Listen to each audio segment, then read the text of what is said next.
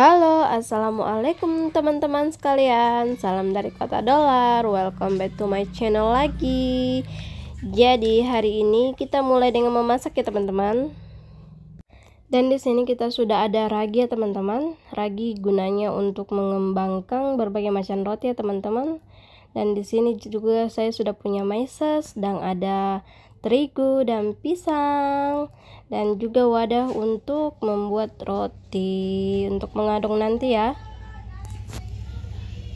Karena kemarin pas ke mama itu ada pisang ya dikasih dari tetangga makanya uh, saya minta ke mama dan saya ambil dua sisir. Uh, tapi kebetulan pisangnya itu belum matang ya. Dan pas satu hari nginep di rumah eh pas tahu-tahu pas pisangnya udah matang dan di sini saya ada ide untuk bikin roti goreng pisang ya. Itu nanti pisangnya nanti saya hancurkan terus saya campur dengan pisangnya lalu saya isi coklat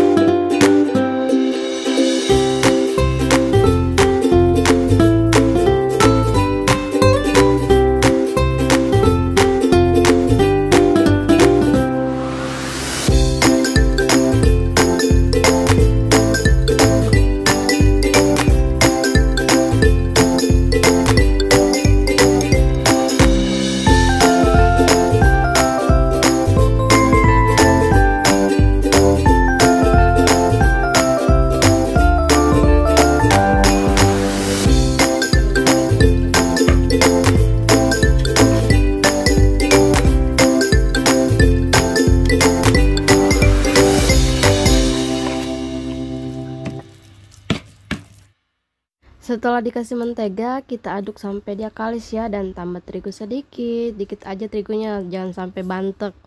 Uh, dan habis itu kita diamkan dan kita tutup. Jadi adonannya sudah mengembang ya teman-teman?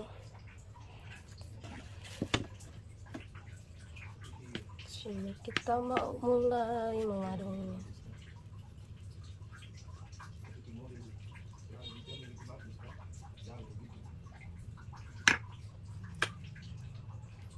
ini saya kasih mentega teman-teman biar nanti mesesnya itu cair dan kita makan itu nanti dia lumer supaya di saat dia dingin itu tidak mengeras.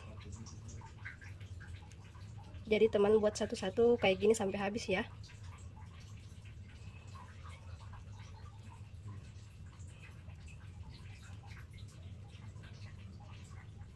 Yang ini sudah jadi ya teman-teman. Uh, kita tunggu agak mengembang dikit dulu baru kita goreng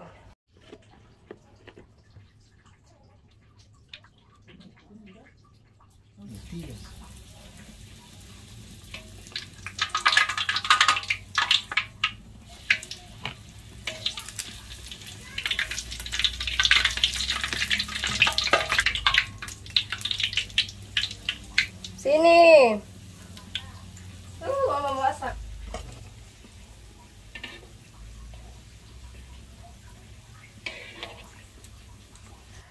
Dan ini roti goreng pisang isi coklatnya sudah jadi teman-teman. Dan teman-teman bisa lihat di sini itu dia. Teman-teman dengar dulu. Di luarnya itu crispy banget ya teman-teman. Dan di dalamnya jangan ditanya lagi itu lembut sekali silakan teman-teman atau bunda-bunda sekalian yang lagi pengen bikin roti goreng ala-ala begitu silahkan cobain resep saya ya. Karena di luarnya itu sangat garing dan di dalamnya lembut sekali. Dan dijamin uh, meses yang di dalamnya ini bakal meleleh ya walaupun rotinya ini eh, sudah dingin. Silahkan dicoba bunda-bunda. Enak. Ya. Enak deh jadi ini roti goreng pisang isi coklatnya teman-teman. Di luarnya itu crispy banget loh. Tapi di dalamnya lembut dijamin lembut sekali ya. Silahkan teman-teman mencoba resep saya ya. Jangan lupa like comment dan share ya teman-teman. Nanti kita masak apa lagi? Dan di sini saya mau coba ya teman-teman teman-teman bisa lihat ya. Di luarnya itu crispy sekali dan di dalamnya itu lembut sekali teman-teman. Dan saatnya kita mencoba. Bismillahirrohmanirrohim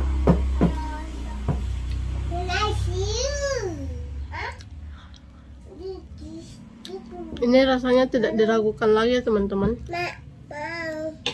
Mau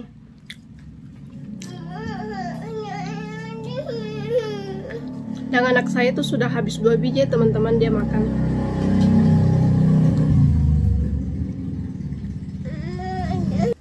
Teman-teman bisa dengar sendiri ya. Wow.